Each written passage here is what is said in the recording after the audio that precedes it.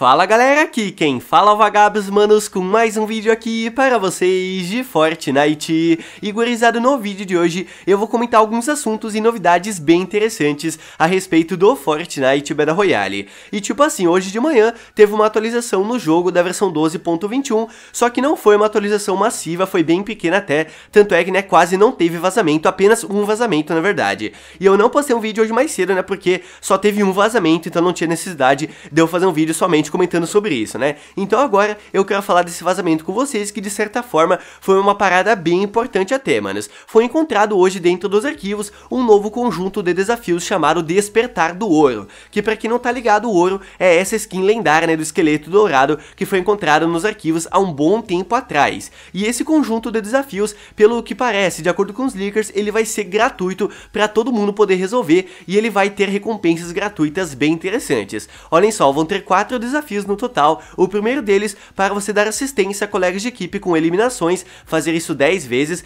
jogar uma partida com um amigo, né, 10 partidas, causar dano a oponentes, mil de dano e o último desafio para você coletar 40 medalhas, ou seja, desafios é muito simples para você completar, né, com certeza você não vai ter dificuldade em resolver e completando cada um deles você consegue 100 mil de experiência, né, totalizando 400 mil, o que é bastante experiência. E além disso você consegue mais dois itens gratuitos na conta, a picareta e o envelopamento dourado, né, que são do conjunto aí da skin do ouro. Só que de acordo com os leakers, a skin do ouro ainda assim vai ser lançada na loja de itens para você comprar, né, por V-Bucks, como se trata de uma skin lendária, vai custar 2 mil V-Bucks. Mas a picareta e o envelopamento, pelo jeito, vão ser itens gratuitos que todo mundo vai poder pegar na conta, né, completando, é claro, os desafios assim que eles foram oficialmente liberados. Só que eu achei esse vazamento muito mais importante do que apenas desafios com recompensas gratuitas, mas também mostra que a skin do ouro tem uma relação com a história história do jogo nessa temporada. Porque, tipo assim, a skin, né, como eu falei, provavelmente vai ser lançada na loja, mas vão ter desafios com recompensas gratuitas que você consegue, né, dois itens do conjunto dele de graça. E qual skin que é lançada na loja, né, que tem desafios gratuitos? Quase nenhuma skin, né? Então eu acho que a skin do ouro tem uma relação gigantesca com a história do jogo ao longo dessa temporada, só que, claro, não é nada confirmado. Eu até comentei no canal uma teoria recente, né, que eu achei muito interessante, que o Midas e o ouro são a mesma pessoa, então quem sabe essa teoria ainda certa certa, só que claro, como eu disse, é apenas uma teoria. Então, se você tem outra teoria a respeito do ouro, do Midas e tudo mais, fique à vontade para deixar nos comentários, né? Porque possivelmente a skin do ouro tem uma relação com a história do jogo ao longo dessa temporada. E, manos, olhem só, outro assunto a respeito da atualização de hoje é das máquinas de vendas. Hoje foi atualizado dentro dos arquivos as máquinas de vendas somente nas galerias do modo criativo, tá? Elas não foram, digamos que, atualizadas no modo Battle Royale, elas não voltaram no jogo ainda, somente foram atualizadas no modo criativo, como eu acabei de falar, mas quem sabe no futuro elas podem voltar no modo Battle Royale, mas isso por enquanto não aconteceu, ok? E bom, manos, agora mudando um pouco de assunto, eu quero falar sobre esse vídeo postado lá no Reddit, pelo usuário chamado Ryuzanami, acho que é assim que se fala, que ele mostra uma técnica bem interessante até para você aplicar uma espécie de piloto automático no helicóptero, tá ligado? Todo mundo sabe que você pode sim pilotar o helicóptero no modo solo, por exemplo, só que quando você quer atirar, né, utilizando o helicóptero, você tem que mudar de assento e quando você muda, não tem ninguém para pilotar o helicóptero meio que desliga no ar e ele vai, né, digamos que caindo lentamente, ele não anda mais pra frente, tá ligado? Só que com essa técnica você consegue, né, no modo solo, por exemplo, ou ficar somente atirando do lado do helicóptero e ele continua andando pra frente, isso mesmo, olhem só esse vídeo aí.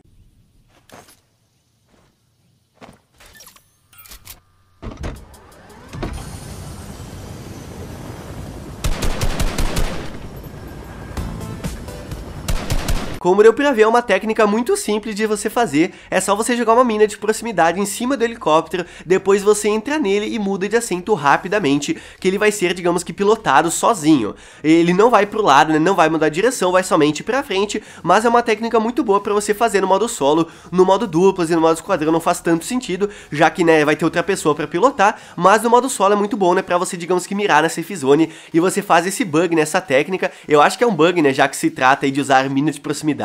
então possivelmente na próxima atualização vai ser corrigido, mas aproveite né, quando você pode aplicar essa técnica aí nas partidas, é uma parada muito boa mesmo para você fazer no modo solo, né, digamos que usar o helicóptero causando dano nos oponentes ao mesmo tempo. E rapaziada, todo mundo tá ligado que nesses últimos dias boa parte do mundo inteiro tá em quarentena, o pessoal né, tá em casa o dia inteiro né, pra se proteger, é claro, e eu percebi também que nesses últimos dias lá no Reddit do Fortnite tem muitas pessoas criando conceitos de itens bem engraçados que deveriam ser lançados no jogo, que tem relação com o coronavírus. E um desses itens eu achei que merecia ser comentado aqui no vídeo, que é esse gesto aqui, né, de você jogar papel higiênico. Todo mundo tá ligado que já foi lançado um bom tempo atrás o gesto para você jogar dinheiro, também tem um gesto para você jogar moedas, e porque agora, né, por conta da situação que a gente vive, não ser lançado um gesto para você jogar papel higiênico. Só que claro, né, brincadeiras à parte, eu acho muito impossível que esse gesto vai ser lançado no jogo, mesmo assim, né, achei uma concept bem engraçada a ser mostrada aqui no vídeo também. E no vídeo de domingo, manos, eu postei um vídeo no canal comentando os melhores locais do mapa dessa temporada, os melhores locais nomeados na opinião de vocês,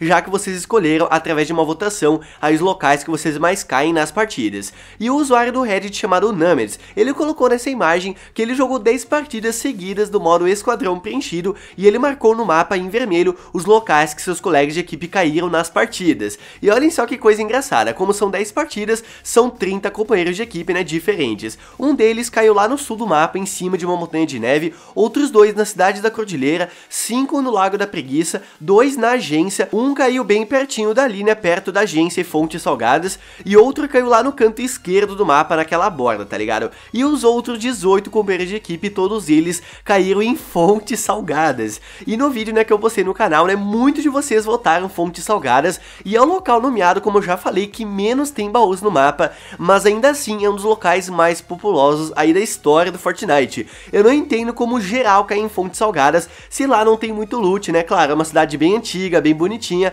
dá pra farmar material super rápido, é um local bom de tretar também, de qualquer forma, é um local que não tem tanto loot, né, principalmente no modo esquadrão, e mesmo assim a galera gosta demais de fontes salgadas, eu achei um negócio bem legal ser comentado aqui nesse vídeo. E galera, agora eu quero fazer uma pergunta pra vocês. Vocês acham que em duas partidas diferentes, vocês já pegaram o mesmo trajeto do ônibus de batalha? Tipo assim, né, todo mundo sabe que na partida tem o trajeto do ônibus, ele passa, né, digamos que do sul pro norte, leste pro oeste, enfim, né, muda, claro, aleatoriamente a cada partida. E vocês acham que alguma vez já repetiu exatamente o mesmo trajeto? Possivelmente, né, você vai responder que sim, eu mesmo também responderia isso. Só que na verdade, possivelmente não. Olhem só esse post publicado lá no Reddit pelo usuário chamado Scrag97. Ele colocou nessa imagem representado pelas linhas azuis todos os trajetos do ônibus de batalha das últimas 500 partidas que ele jogou. E como dá pra ver, nenhum trajeto se repetiu exatamente igual, todos são diferentes um dos outros. Tem uns, né, que são muito perto aí, são 1 milímetro pra direita, 1 milímetro pra esquerda,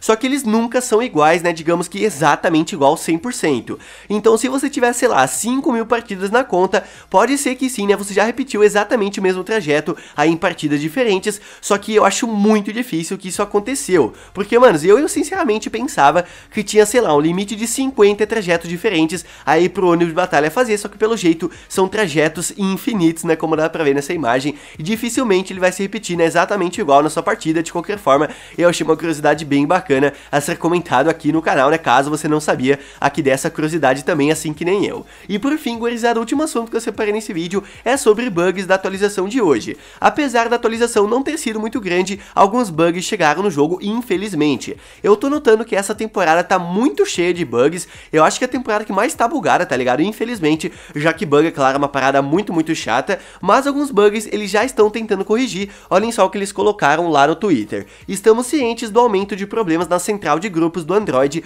após a atualização do patch 12.21. Estamos investigando o problema e traremos mais informações assim que possível, e outro bug que eles comentaram é sobre os usuários da Epic Games, olhem só. Estamos cientes de que alguns novos usuários da Epic Games não conseguem encontrar amigos pela aba adicionar amigos no Fortnite, então traremos atualizações quando esse problema for resolvido, então se você né, tá sofrendo com esses bugs, fique ligado porque em breve eles vão ser corrigidos, ok? Mas então é isso galera, espero que vocês tenham gostado aqui do vídeo, deixe embaixo nos comentários a sua opinião sobre os assuntos que eu falei aqui, o que você achou do único vazamento encontrado hoje dentro dos arquivos, eu sinceramente achei um vazamento muito importante, não só porque se trata de desafios com recompensas gratuitas, mas também pelo nome do conjunto de desafios, que é o Despertar do Ouro, então eu acho né, que indica que a skin do ouro tem alguma importância bem gigante na história do jogo nessa temporada, só que claro, não é nada confirmado, então se você tem alguma teoria né, do ouro com o Midas, com a agência, a organização Espectro, Sombra, fique à vontade para deixar nos comentários também. E se você gostou do vídeo, manos, deixa o like porque não custa nada